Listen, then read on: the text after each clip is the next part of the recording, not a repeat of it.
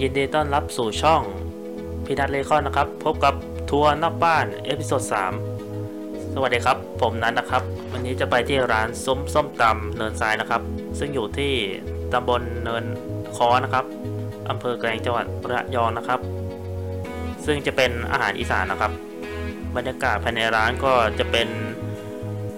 แบบเออโล่งๆนะครับ อากาศถ่ายเทสะดวก มีหลายหลายที่นั่งนะครับ มีแบบอย่างเช่นนะว่าจะมีกับแกล้มซึ่งมีดอกอัญชันนะครับ ซึ่งไม่แน่ใจว่าร้านอื่นจะมีแบบแปลกๆแบบนี้หรือเปล่านะครับ จะมีอย่างเช่น ข้าวเหนียว ส้มตำไก่ย่างนะครับ เออ มันอาจจะมีแบบว่ามีขนมหวานนะครับ ไม่แน่ใจว่าเขาจะทำ สเต๊ะหรือเปล่าครับ ซึ่งบอกได้เลยว่าเมนูมีหลากหลายชนิดนะครับ ไม่ลองไม่พลาดนะครับอ่าต้องลองมาชิมนะครับ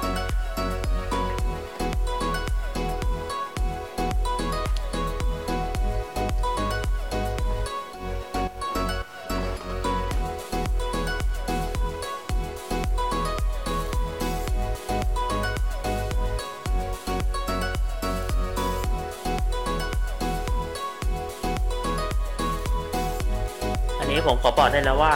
บรรยากาศภายในร้านนะครับ ซึ่งดูโอเคนะครับ สมชื่อว่าซุ้มส้มตำนะครับ ร้านอาหารนะครับ ดูโล่ง มีลมพัดเย็นเนี่ยเข้ามานะครับ อาหารก็อร่อยทุกอย่างลงตัวนะครับ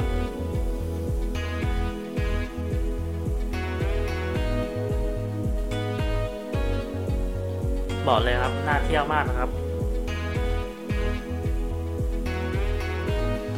ซึ่งความจริงอะเดี๋ยวผมจะไปชื่อร้านดิบโพเอ็มนะครับ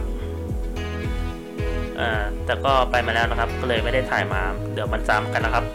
ถ้าชอบคลิปนี้นะครับ กดไลค์กดแชร์ กด subscribe หรือกดกระดิ่งเพื่อติดตามคลิปตลอดนะครับ เจอกันคลิปหน้าครับ สวัสดีครับ ขอให้สนุกกับการท่องเที่ยวนะครับ